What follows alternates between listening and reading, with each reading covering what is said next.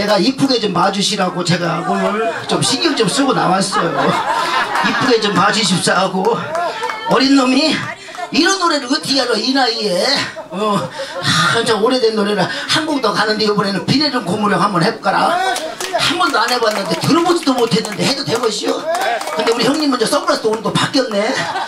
돈이 얼마나 많으면 저렇게 선글라스가 자꾸 벗겨. 날짜마다 요일별로 그리고 어, 날씨에 따라서 바뀌는 것 같아 어, 우리 센스 형이 우리 저기 오라버니 박수 한번 주시오 어저께는 그냥 바람이 분다고 어, 텐트 날아갈까봐 그냥 기둥을 붙잡고 사정을 했는데 그러다가 먼지 날것 같아 예. 예?